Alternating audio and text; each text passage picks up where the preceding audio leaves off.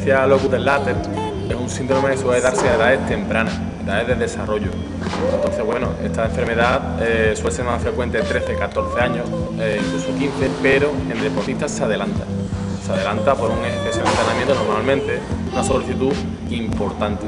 ¿Qué ocurre? Simplemente para que nos entendamos en términos coloquiales, es que la tibia, la parte más superior de la tibia, más proximal que se llama, aún no está formada.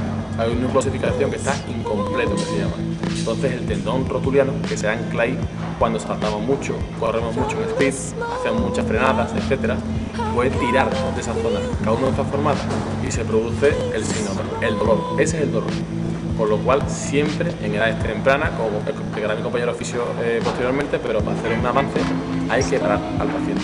Hay que pararlo e intentar bajar el dolor al máximo. Y a partir de ahí empezar a trabajar muy suave en aeróbico y ir progresando.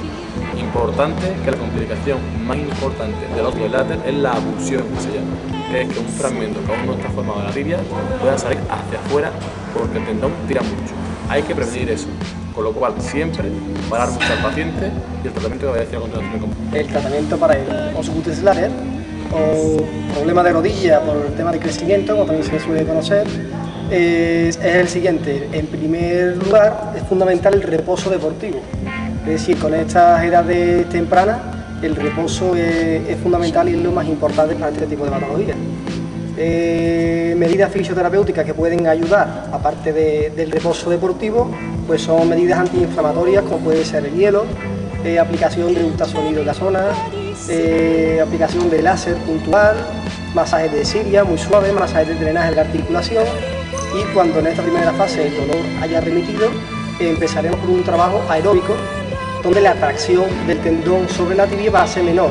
Entonces habrá un periodo de unos dos o tres semanas en el que el trabajo será únicamente trabajo aeróbico y trabajo isométrico de eh, fortalecimiento de, de, de ese cuádriceps. Posteriormente ya empezaremos a hacer trabajo concéntrico y excéntrico y por último pues el jugador deberá de, incorporarse muy progresivamente a su grupo. Pero no hay que olvidar que en la pauta primera para el tratamiento es, es el reposo deportivo.